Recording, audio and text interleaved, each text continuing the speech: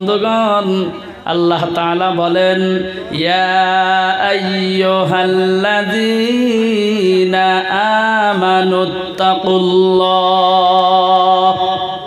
আমার বন্ধুগণ, ভালো করিয়া মনোযোগ দিবেন।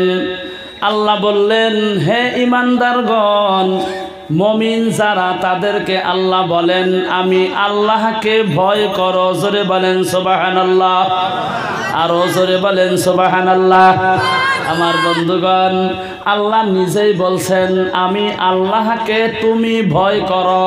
এবার যদি প্রশ্ন করা যায়, আমরা আল্লাহকে ভয় করি কি করি না? জোরে কন। এবার জোরে বলেন, ভয় করেন না। আল্লাহকে ভয় করেন।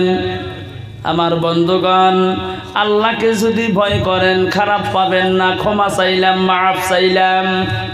আল্লাহকে যদি আপনি ভয় করেন, আমার বন্ধুগণ, আজকে এশার নামাজ পড়িয়া কয়জন মানুষ ধর্ম সবাই বসেছি?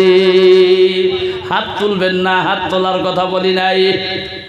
নিজেকে প্রশ্ন করেন, আপনি যে বললেন, আমি আল্লাহকে ভয় করি তাহলে বন্ধু, এশার নামাজ কয়জনে পড়িয়া ধর্ম সবাই বসলাম? তারপরেও কেমন করিয়া বলেন, আল্লাহকে ভয় করি। আমার বন্ধুগণ, যেই ব্যক্তি আল্লাহকে ভয় করে, আমার বন্ধুগণ, ওই ব্যক্তি কোনো দিন আল্লাহর হুকুম নামাজ পড়া বাদ দিতে পারে আরও লাহেকন পারে, নামাজ পড়া বাদ দিতে পারে না। আমার বন্ধু, সেই জন্য আল্লাহ বলেন হাক্কাত কতিহি মুখের দ্বারাই ভয় করলে হবে না, অন্তর থেকে ভয় করতে হবে। তুমি চাকরি করো, আমি আল্লাহকে ভয় করো। তুমি খেতে খামারে কাম করো, আমি আল্লাহকে ভয় করো। তুমি একজন মাওলানা, আমি আল্লাহকে ভয় করো। তুমি একজন মুফতি, আমি আল্লাহকে ভয় করো। তুমি একজন ডক্টর, আমি আল্লাহকে ভয় করো। তুমি ইঞ্জিনিয়ার, আমি আল্লাহকে তুমি ভয় করো। আমার বন্ধুগণ হাব্বা তো পাতিহি ভয় করার মতো করিয়া ভয় করো। জোরে কন সুবহানাল্লাহ। ভয় করার মতো কইরা ভয় করো। এই মুখের দ্বারাই বলি ভয় করি, না না না। শুধু মুখ দিয়া ভয় করলে হবে না। অন্তর থেকে ভয় করতে হবে, বন্ধু। আমার ভাইরা সাহাবাই কেরামদের জিন্দিগি যদি দাও লক্ষ্য করেন সাহাবাই কেরামদের জীবনে যদি আপনি বন্ধুগণ স্টাডি করেন, আমার বন্ধুগণ তাদের জীবনের মধ্যে আপনি দেখতে পারবেন, বন্ধুগণ। সাহাবাই কেরাম, আমার ভাইরা, আল্লাহর নবীকে কত মহাব্বাত করেছে, ভালোবেসেছে। আমার বন্ধু, আল্লাহর নবী যা বলছেন সাহাবাই কেরামগণ, নিজের জান দিয়া, মাল দিয়া, সময় দিয়া, আর্থিক দিয়া, পরামর্শ দিয়া যতটুকুন সম্ভব তারা পূর্ণ করার জন্য চেষ্টা করেছে। আমার বন্ধুগণ, তাদের জীবনে যদি লক্ষ্য করা যায়, আমার ভাইরা আল্লাহর নবীর সাহাবি অনেকগুলা অগণন সাহাবি আছিল। তার মধ্যে গো, আমার বন্ধু বড় বড় সাহাবা হইল চারজন। কথা কন কতজন? আরও জোরে বলেন কতজন? معروف বড় বড় সাহাবা চারজন। এ মুসলমান বন্ধুগণ আমার, তার মধ্যে একজন হলো হজরত আবু বকর সিদ্দিক তাআলা আনহু। দুই নম্বরে হলো হজরত ওমর ফারুক তাআলা আনহু। আমার বন্ধুগণ, ওমর রাজিয়াল্লাহু তাআলা আনহুর জীবনী যদি আপনি লক্ষ্য করেন, আমার বন্ধু কোথায় থেকে কোথায় আল্লাহ পৌঁছায়া দিল? এত বড় ডাকু ছিলেন তিনি। এত বড় ডাকু ছিলেন বন্ধু। আল্লাহর নবীর কাল্লা আলাদা করার জন্য তিনি রওনা হয়ে গিয়েছিলেন। আল্লাহ কবুল করিয়া নিল। ওমর রাজি আল্লাহ আনহুকে। আমার বন্ধু, সাহাবাদের মধ্যে দ্বিতীয় নাম্বার খলিফা হিসাবে কবুল করিয়া নিল। আমার বন্ধুগণ, শুধু তাই না, আল্লাহর নবী জানাইয়া দিল, আমি নবীর পরে তো কোনো নবী আসবেই না।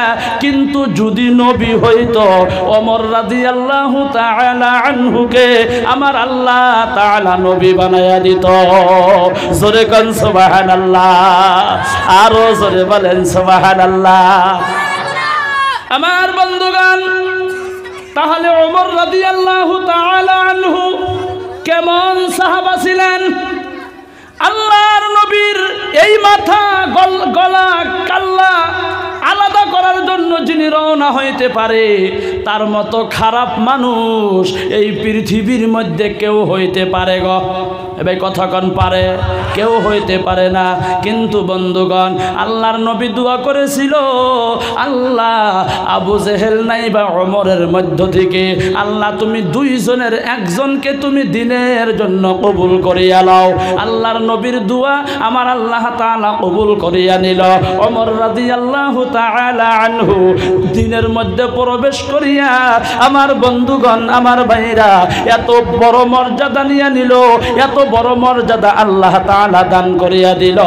এই পৃথিবীর বন্ধু আধা পৃথিবীর বাদশাহ বানাইয়া দিল। জোরে গল সুবহানাল্লাহ। এই পৃথিবীর আধা পৃথিবীর বাদশাহ বানাইয়া দিল।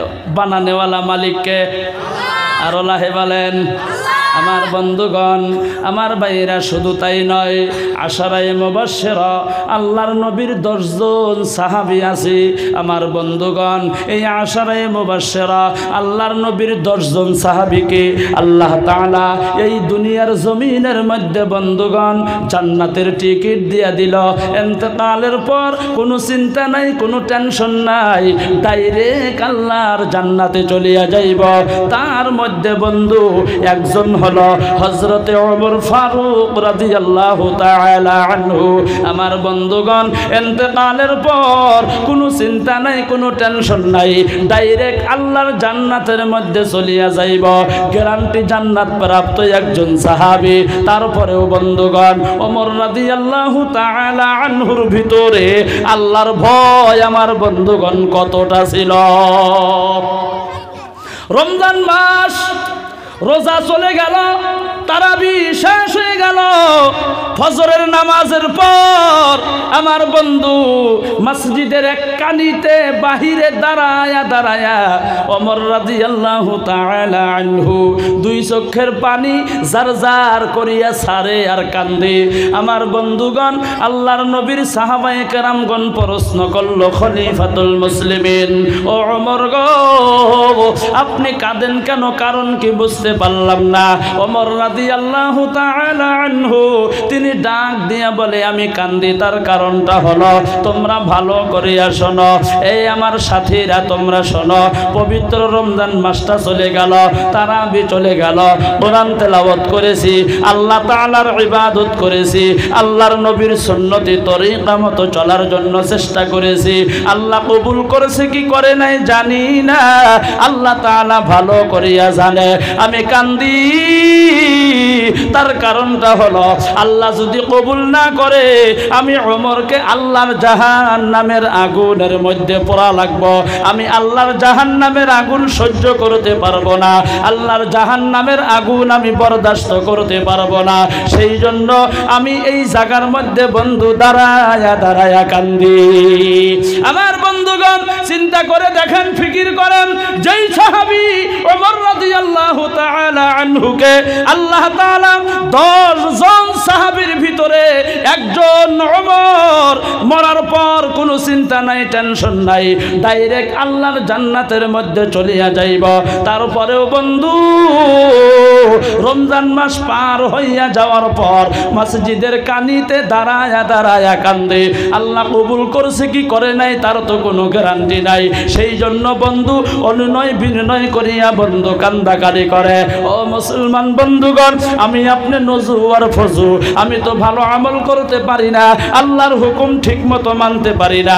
আমার বন্ধুগণ, ধর্ম সবাই বসেছি, তারপরেও বন্ধু মনোযোগ আমাদের কোরআন হাদিসের মধ্যে নাই। এদিক ওদিক টেনশন, বিভিন্ন জায়গার মধ্যে চলি। আমার বন্ধু, আল্লাহ আমাকে, আপনাকে কবুল করেছে, কি করে নাই জানি না। আল্লাহ তাআলা ভালো করিয়া জানে, আমার বন্ধু, তারপরেও ভাইয়েরা, আল্লাহর মৌতের ভয় আমার আপনার অন্তরের মধ্যে নাই। আছে কি কথা কন? আছে গ? নাই।